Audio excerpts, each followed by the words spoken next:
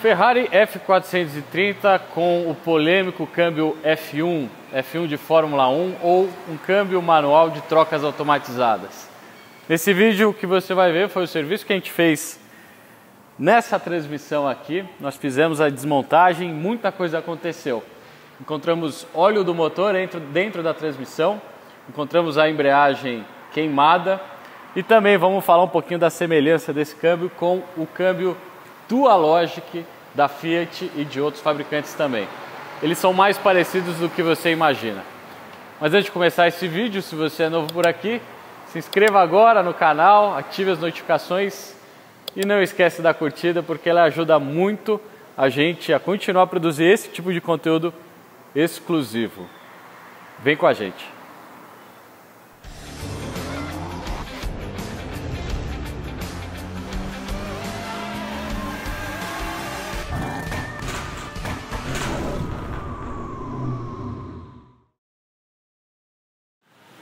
Bom, ok. Então vamos recapitular tudo que a gente fala nos outros vídeos aqui, que a gente fala isso aqui direto. Esse carro aqui tem uma transmissão chamada de F1 ou de Fórmula 1, onde eles adaptaram o sistema de troca de marchas e acoplamento da embreagem para um robô. Então o câmbio faz essas trocas por você, mas o câmbio em si, essa transmissão é uma transmissão manual, é uma transmissão que possui os mesmos componentes de uma transmissão manual, tanto que a versão manual da F430 possui a mesma transmissão, mas ao invés de ter um robô que vai fazer o acoplamento da embreagem e a troca das marchas por você, ela tem um trambulador que vem aqui, já vou explicar isso, e um pedal de embreagem que atua o atuador que está aqui atrás dos discos de embreagem que ficam dessa, nesse local. Vamos fazer um passo a passo. Primeiro, por que, que a gente sacou a transmissão desse carro aqui? Uh, a gente tinha um vazamento no sistema de atuação hidráulica aqui da embreagem. Então, a gente, na verdade, aqui parece que está tudo limpo. Esse aqui, na verdade, é o atuador antigo ainda. A gente está com o novo ali na bancada. E aqui a gente tinha vazamento de fluido hidráulico na parte de atuação. Esse fluido ele entra por aqui, por essas duas mangueiras aqui, Aqui a gente tem um sensor de posição da embreagem para o câmbio saber se a embreagem está acoplada ou não. Qual que é ainda a espessura remanescente do conjunto de embreagens que eu já vou mostrar. Enfim, entra a pressão hidráulica aqui e estava vazando. A gente tinha tanto um vazamento de óleo hidráulico, do sistema hidráulico, como um vazamento de óleo de câmbio. Então aqui a gente vai ter que fazer a substituição dessas partes que cuidam da vedação. Então esse retentor aqui, por onde passa o eixo piloto, a gente tem aqui uma outra vedação da flange na parte externa. O atuador também tem algumas vedações. Enfim, estava vazando. E esse vazamento fez com que o câmbio perdesse um pouquinho de pressão hidráulica e também afetou as embreagens. As embreagens, além de estarem contaminadas pelo óleo, elas acabaram sobreaquecendo. Aqui eu tenho o conjunto de embreagens desse carro, que acopla ali na caixa que vocês viram. E esse carro ele possui um sistema de embreagem simples, é uma embreagem apenas, a gente tem apenas um platô e um atuador, diferente dos câmbios de dupla embreagem, que tem duas embreagens. Mas aqui nós temos uma embreagem multidiscos, então são dois discos de fricção. E se a gente dá uma olhada aqui, a gente teve um azulamento Monitorando pelo scanner também a gente percebeu que a parte de fricção dessas embreagens estavam além dos limites ali, dos, dos valores nominais e manobrando o carro para fazer a manobra ele não saía do lugar. Então a gente vai ter que trocar também os discos porque aqui já era. E tudo começou por um problema hidráulico. Então aqui nessa parte do atuador hidráulico, o que a gente tem basicamente é um robô Uh, o que a gente está acostumado de ver aí nos outros vídeos é aquele sistema de mecatrônica que, que em um mesmo componente tem lá o módulo, tem a bomba que pressuriza uh, o sistema hidráulico, cria a pressão hidráulica que vai fazer essas atuações, nós temos os corpos de válvula. Aqui nesse carro é um sistema um pouquinho mais antigo e é tudo separado, tá? Basicamente o que a gente tem aqui no atuador é o componente que vai fazer o teu papel do teu pedal esquerdo. Então, o teu pé esquerdo, quando você pisa na embreagem, solta. Hoje, nesse câmbio F1, é feito pelo robô e a pressão hidráulica entra por aqui. certo? Depois continuando, dando uma olhada aqui nesse câmbio, temos uma das saídas do semi-eixo aqui. E aqui a gente tem a outra parte responsável pelo funcionamento da transmissão. Aqui, na verdade, é acoplado um atuador, o segundo atuador hidráulico, então eles são separados, diferente das mecatrônicas que nós temos hoje em dia dos câmbios de dupla embreagem, que é tudo num módulo só. Aqui a gente tem um outro robô que é basicamente faz a função do trambulador, então da função do teu braço direito. Então aqui a gente tem esse robô que vai fazer o papel do engate das marchas. E se a gente perceber aqui os varões, a gente consegue, na verdade, dando uma olhada aqui, a gente consegue ver que isso aqui é um câmbio manual mesmo. Então a gente percebe lá as engrenagens helicoidais, nós conseguimos ver também os sincronismos. Isso daqui são ah, os garfos, certo? Eu consigo engatar uma marcha aqui. Então, por exemplo, eu vou rodar aqui como se o motor tivesse em marcha lenta. Dá uma olhada aqui na saída da roda. O câmbio está desengatado, nada acontece, certo? Então aqui é o motor como se estivesse em marcha lenta, não tivesse engatado nenhuma marcha. Agora o que, que acontece? A gente tem um robô e ele tem dois movimentos. Esse robô ele faz esse movimento, que seria o mesmo movimento que você tem no trambulador quando você testa o neutro, e o movimento de engate das marchas. Então, para frente, para trás. Então, primeira, segunda, terceira, quarta, quinta e sexta. E tem uma ré também. Eu vou engatar uma marcha aqui.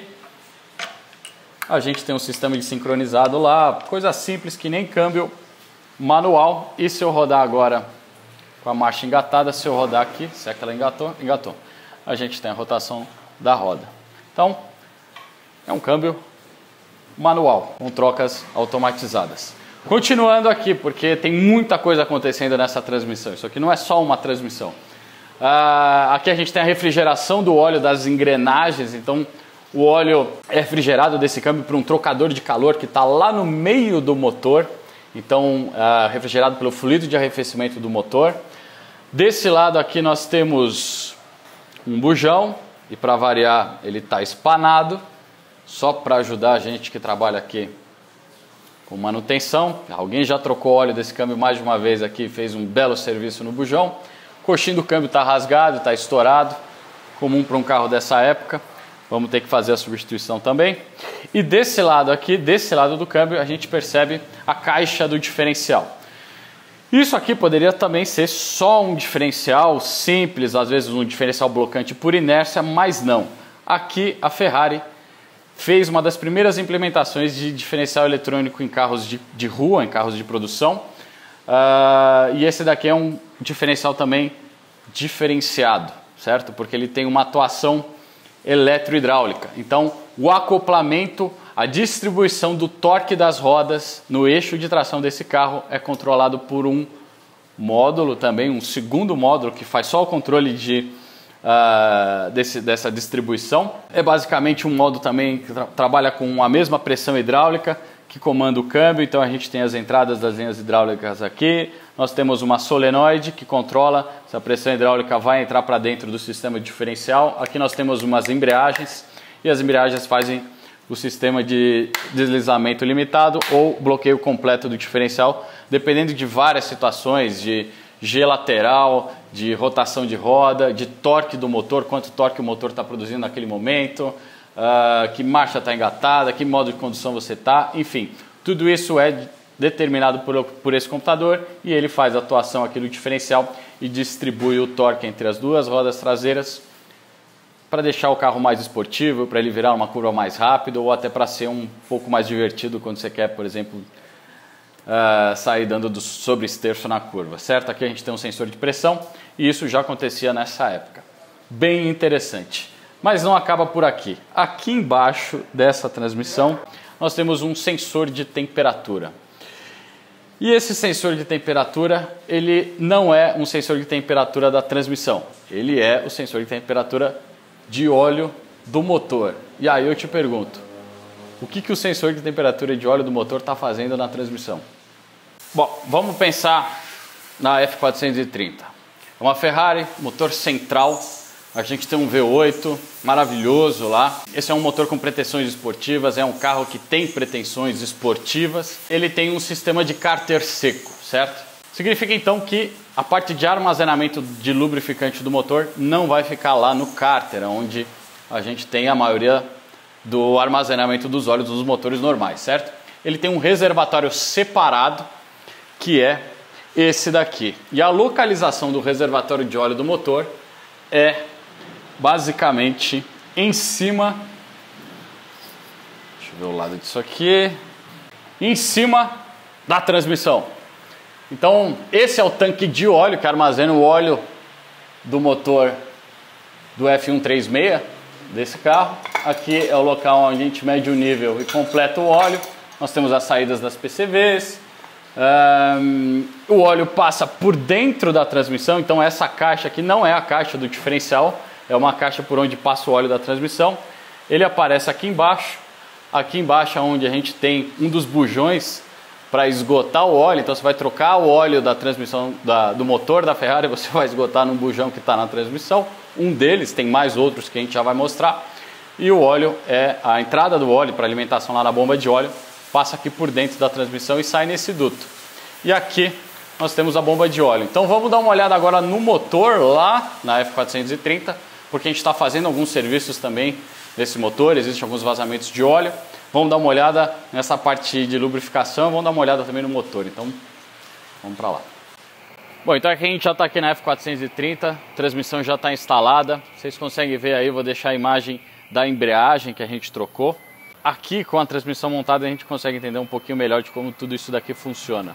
Primeiro, vamos falar do quadro ou do agregado superior que sustenta toda a transmissão. Na verdade, a, a transmissão está suspensa apenas por esse coxim e a gente tem esse agregado aqui que é parafusado lá dentro na carroceria e ele é, é feito de alumínio. Era uma parceria que a Ferrari tinha com a Alcoa na época.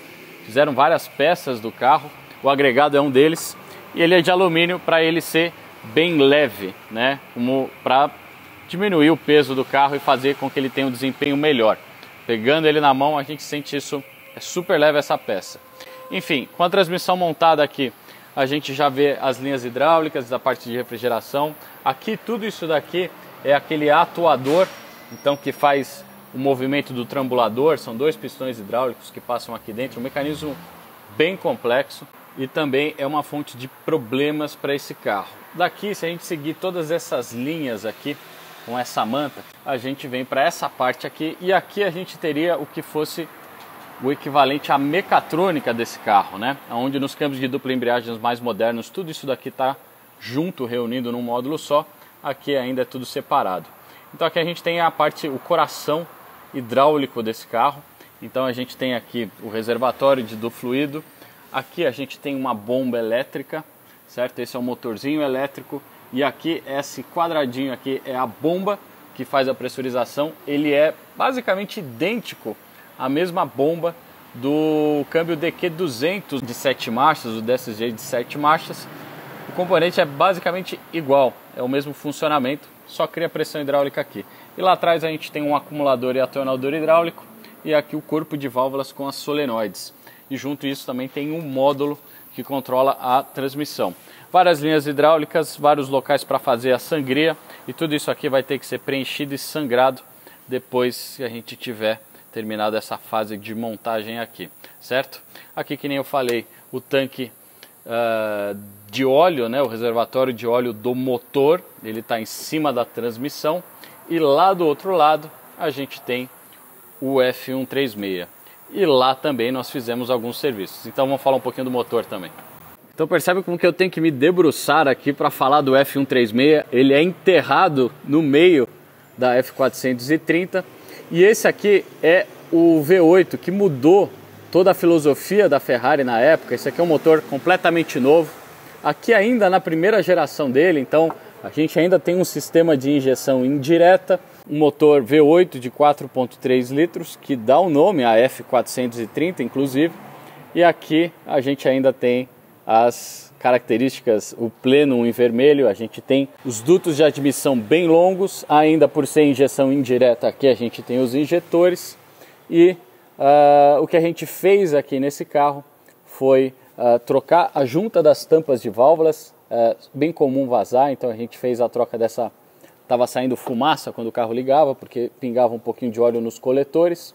A gente também trocou os dois coxins de motor e as velas, coisas simples para um carro já com uma certa idade, são componentes de borracha que não vedam e não sustentam mais. Então a gente já fez todo esse serviço e foi muito mais fácil fazer nesse caso com a transmissão fora. O técnico consegue ficar de pé aqui e tem muito mais acesso para fazer esse serviço, junto também de uma descarbonização que a gente fez aqui no motor.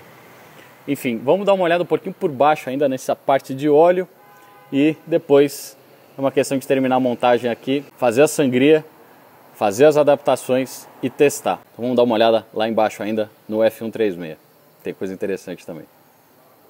Bom, aqui embaixo da F430 a gente tem ainda umas coisas bem interessantes. Primeiro, localização da transmissão quase no final do carro, que é basicamente o para-choque. Essa é toda a transmissão. Aqui desse lado nós temos o atuador que faz a seleção das marchas daquele modo que eu, que eu expliquei, que tem uh, dois pistões, dois eixos que fazem esse movimento e o engate das marchas. Se a gente ler aqui no atuador, a gente vai ler Celespeed e a marca do fabricante que é Magnete Marelli. A Magnete Marelli foi quem produziu esse sistema eletrohidráulico de trocas de marchas automatizadas dentro de um câmbio manual e ela também é a mesma empresa que desenvolveu o câmbio dos Fiat Dualogic e dos Volkswagen iMotion e também do GM alguma coisa, eu esqueci o nome do GM. Mas é a mesma fabricante e o princípio de funcionamento desses carros, desses, dessas transmissões, é o mesmo que começou aqui. Também é Magnete Marelli. Enfim, continuando aqui. Aqui a gente tem a transmissão do carro e aqui eu tenho o motor, certo? E que nem eu falei, a troca de óleo do motor se troca com o bujão na transmissão, que está em cima lá. Aqui a gente tem o tanque de óleo, o óleo vem por aqui, entra e entra no módulo da bomba de óleo. Aqui eu já estou falando do motor. O motor trabalha com o sistema de cárter seco, significa que ele não armazena o óleo aqui no cárter. A gente tem três bombas de captação ou bombas de scavenging em série, mais uma bomba principal. Aqui a gente tem o filtro de óleo e ele capta todo o óleo que pinga ali da parte do virabrequim dos cabeçotes. Ele pinga aqui, acumula e é captado e volta para o sistema hidráulico. Junto do módulo da bomba de óleo, a gente também tem a bomba de água do motor, que é essa daqui. Existem também alguns bujões de dreno secundário, mas os principais são esses dois aqui. Você vai trocar o óleo da 450, se você esgotar aqui não vai pingar quase nada, certo? A maioria pinga por aqui. E por aqui também a gente consegue ver um dos cabeçotes e por onde a gente tem lá a junta da tampa de válvula que foi trocada, o óleo escorria por aqui, pingava no coletor e fazia fumaça. Agora tudo limpo e bonito. Uma última coisa que vale a pena falar desse carro, da F430, do F136, que é esse motor, é o coletor. O coletor na F430 tem formas que podem ser muito melhoradas. Esse não é um coletor ideal para esse motor e isso a gente vê lá na 458. A 458 também tem um motor F136, mas ele foi aumentado o deslocamento, foi posto no sistema de injeção direta e a parte dos coletores na 458, que a gente já falou aqui no canal, é muito melhor do que esse daqui. Tem bastante ganho para ter se a gente trocar essa peça aqui e fazer um coletor equalizado e melhor projetado. Bom, então vamos lá. Estamos com a embreagem calibrada. Já fizemos essa primeira adaptação com o carro quente. Agora tem aquela hora boa de testar o carro para ver se a folga da embreagem, se as adaptações desse câmbio estão corretas e se isso vai fazer com que essa embreagem dure bastante. Primeiro sinal que a gente tem que ver é com o câmbio engatado, de primeira a gente solta o freio, o carro não se movimenta.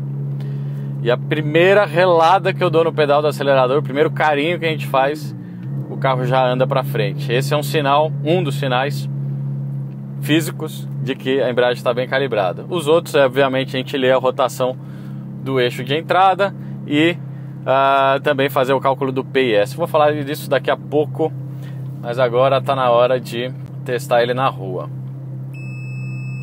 É engatada. E aqui a gente tem esse um dos primeiros carros que foi uh, introduzida essa tecnologia de um câmbio manual com trocas automatizadas que depois a gente foi ver em carros de passeio de rua. Aqui na época ainda eles chamam de câmbio, câmbio de Fórmula 1, mas que nem eu falei, o Dualogic e uh, o iMotion, o som é alto, hein? Uh, o Dualogic e o iMotion seguem a mesma construção, os mesmos componentes uh, na questão de atuação aqui para trocar as marchas desse câmbio manual. E talvez aí esteja a conexão entre esses dois câmbios e talvez a conexão da injustiça também. O F430, quando ganhou esse câmbio, isso daqui é um carro para ser dirigido, para andar. Não para essa situação que eu estou agora, por exemplo, parado no semáforo e tem trânsito, tem carro na frente e tal. É um câmbio que funciona muito bem nessas horas que você está andando em alta velocidade, você está fazendo um track day, as trocas são rápidas e te dá um conforto e te libera de fazer algumas atuações aqui que mudam o foco da atenção do piloto. Então, nesse cenário, esse câmbio ele é muito bom, o que combina com a proposta desse carro. Aí já adaptar essa tecnologia em um carro de rua para você tentar botar no mercado um carro que te traz o conforto das trocas automatizadas, mas por um baixo custo, foi uma tentativa, né? É, mesma marca, Magnete Marelli, de... Espera um pouquinho.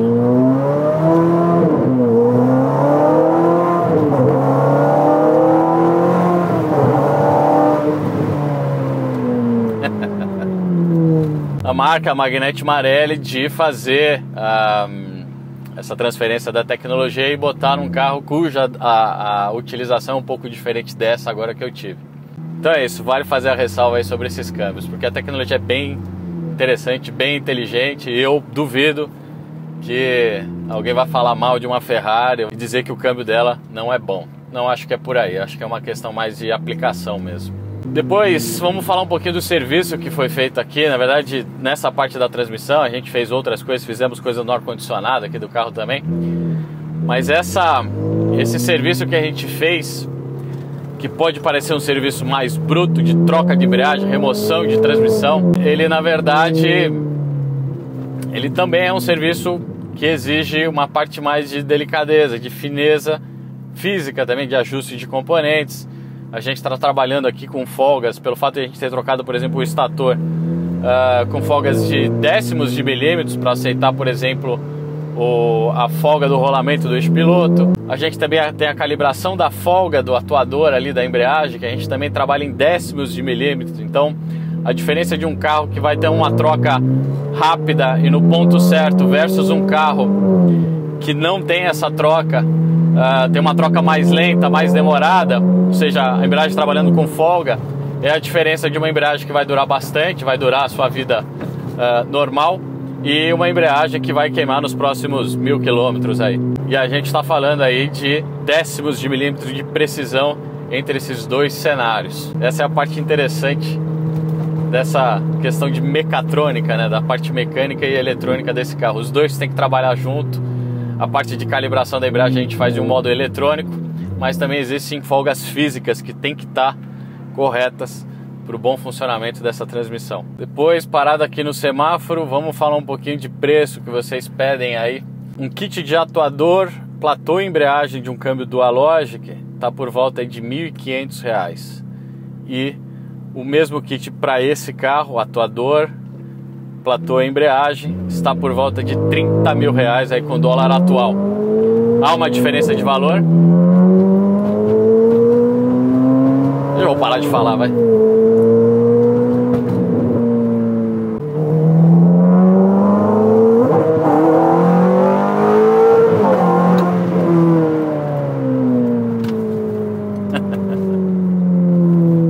Aspirado, não anda que nem os turbos de hoje que a gente já está acostumado a fazer aí no canal. Mas tem certos carros que não importa a potência e o torque, né? O que importa é mais a sensação e o ronco.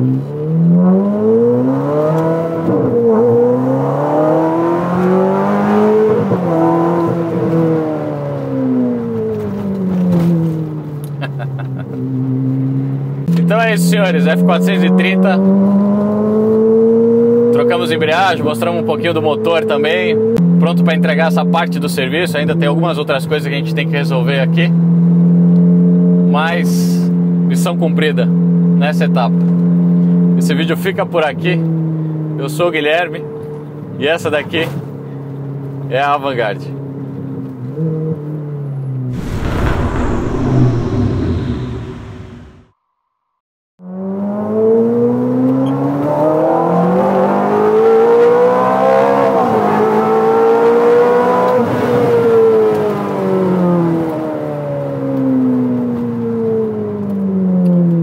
O Reis também está trocando bem as trocas.